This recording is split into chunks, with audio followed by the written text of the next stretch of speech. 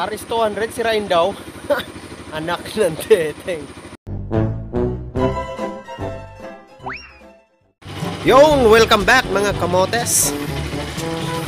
So, I'm here again, Kamuti King. At bagong lahat, uh, inanyayahan ko kayo na mag-subscribe sa aking YouTube channel at click nyo na rin ang notification bell para ma-notify kayo kung may mga bago akong mga videos. So ayan, maraming nagsasabi na ang ating RS200 ay sirain daw. so, ayan. Oo nga naman, sirain daw yung RS200. Mm, totoo yun, sirain.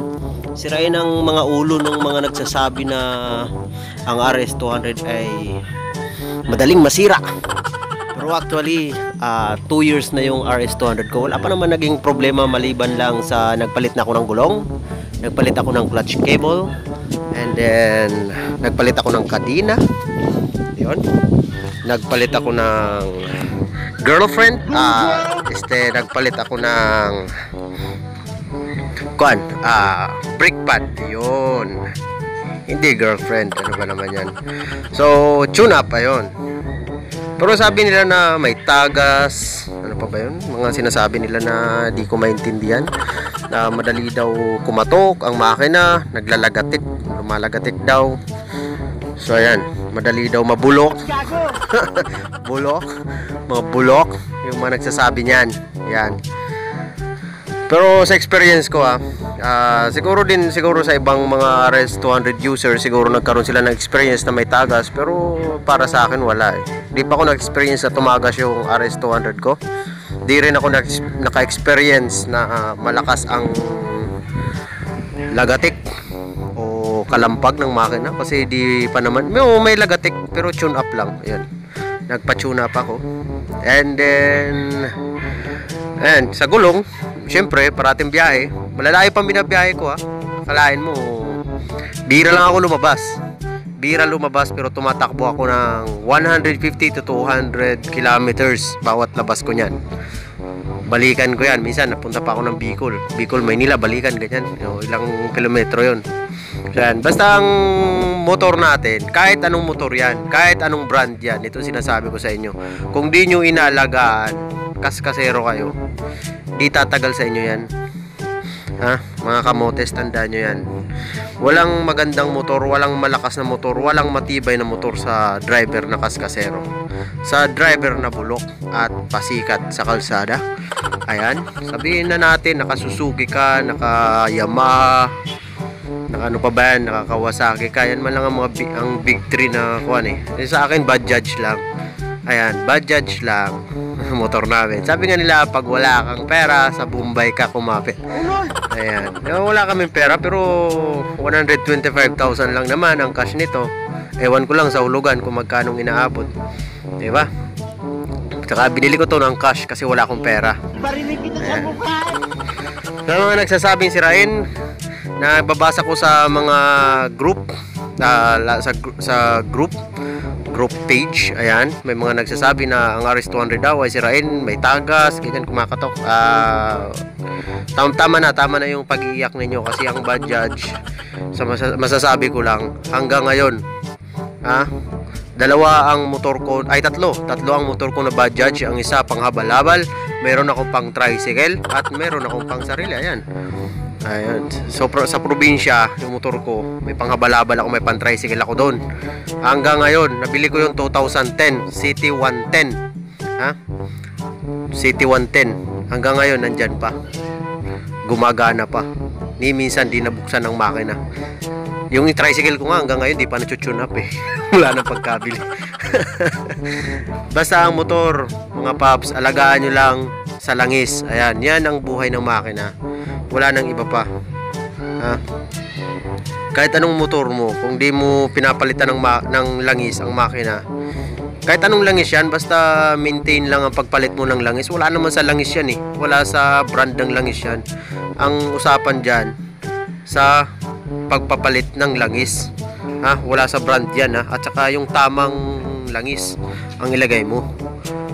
Katulad dito sa akin uh, 20 W50 yan yan yung nilalagay ko di ba Kaya kung lagyan mo din na medyo baba, baba na klase, eh madaling magkalampagan yung makina mo. Di ba? Yung iba kasi di nagpapalit na langis, dinadagdagan lang. Di na nagpapalit. Kasi ang sinasabi nila, ah, wala naman daw sa langis yan. No. Big no. Maling mali. Di ba? Kasi ang buhay ng makina natin nasa langis. Ayan. At saka nasa pag-aalaga yan. Pag nakita mo na yung motor mo may tagas, ipa may mekaniko muna. Kung marunong ka mag-ayos, marunong ka magkumpuni ng makina mo, edi ikaw na mag-ayos. Ba? Nagbilan mo ng gasket. Di ba?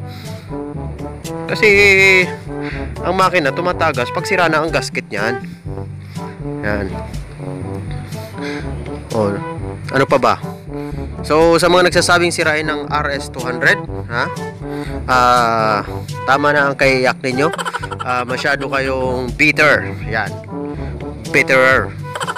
Kasi ang mga taong mapahusga ay bitter lang yan.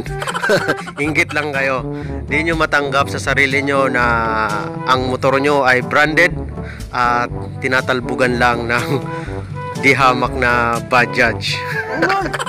ay nako, sa mga yakin dyan, ah, pasensya na. May iba din naman na call lang sila, chill lang. Ah, may mga subscriber din ako, may mga taga pag may taga-subaybay din sa akin na hindi naman Bajaj ang motor, hindi naman RS200 ang motor, pero patuloy pa rin sila sa pagsuporta sa akin. may iba talaga na iyakin. Pag na tuwing napapanood nila, napapakinggan nila yung mga sinasabi ko about sa mga motor nila, panayang iyak, no? Di nila matanggap, bitter bitter lang. So ayan, ano pa ba ang mga sinasabi nila na sirain ng RS200? Ayan, sabi nila sa ilaw, ayan, ayan, sa ilaw ha. Yung ilaw ng RS200, ah, mura lang naman to, may isang libo isa eh. Isang mata lang yun. May dalawang libo yata. Ayan. Diya, di naman siya sirain kasi dalawang taon na sa akin. Di naman nasisira. Ayan. At saka sa battery pala, yan. Sabi nila, ah, yung battery pala ng RS200, ang stock na battery nito, maabot lang ng isang taon. Eh, sa akin isang taon lang inabot niya. May isang taon naman. Saka huwag kayo masyado maglagay ng mga kung ano, ilaw. Ah, mga dagdag na ilaw. Mga additional light. Tapos, kung masyadong marami yung ilaw nyo, talagang madali masira mga battery nyo. Kahit anong motor. Ayan. Pag dinagdagan nyo yung ilaw nyo, talagang masyadong makakastigo din yung mga battery nyo. Walang motor na matibay sa driver nga na barumbado. Ayan. Lahat ng motor, kahit Rossi man yan, ah, ano pa ba yung mga kuha ng motor, kahit anong klaseng brand mo, ha, pag di mo inalagaan yung motor mo, laspag yan. Parang babae yan. Ha? Pag sinakyan mo lang ng sinakyan, di mo binibigyan ng atensyon na alagaan ang kanyang sarili. Wala rin. Lalaspag, ma... lalaspag lang yan. Ha? Ayan. Parang babae lang yan. Parang girlfriend nyo yan. Parang asawa nyo. Di ba? O, katulad dito, itong restaurant ko wala pang washing. Uh, washingan ko to maya maya kasi nakakaya naman. Parati ko sinasakyan. Di ba? Parang girlfriend nyo, parati yung sinasakyan, kinakabayo nyo gabi-gabi, tapos din yung pinapaligo. Ayan, ang nangyayari, nalulusyang, di ba? Bumabao. Barinig kita sa mukha. Parang ganun lang yan. Huwag kayong magsabi ng uh, bad judge pag bad judge sirain. No. Walang ganun. Kasi lahat ng motor, ginawa ng maayos yan. Napunta sa'yo ng maayos yan. Ang problema lang, nasa iyo ang problema. Wala sa motor mo. Di ba? Eh, mga branded na motor dyan. Alam nyo, branded nga yung motor nyo. Sinasabi nyo mas mahal sa ganito, mas mahal yung motor namin. Kasi branded. Uy, mga ugok. Anak ng teteng kayo, binabayaran nyo lang yung brand ng motor nyo. Mga bobo. Yan, di ba? Eh, 150. 150cc nagkakahalaga ng 150,000. Ano ba naman yun? Diyos ko naman. Binabayaran nyo lang yung brand ng motor nyo. Di ba? Para kayong mga tanga. Sa ibang bansa, hindi naman ganyang kamahal ang motor na yan. Napakamura. Pumunta kayo ng India, di pinapansin yan kasi Bajaj ang pinapansin doon. Kasi mas mura. Kasi doon, di pinapansin yung Yamaha na yan. Halos di nga wala nga motor ng Yamaha doon eh. Kasi Bajaj, puro Bajaj, KTM ang motor doon. Ayan. At saka ito pa, dagdag kaalaman ha. Kasi marami nagsasabi dyan na ang KTM daw mas maganda kaysa sa Bajaj. Putang inang yan, anak ng teteng oh.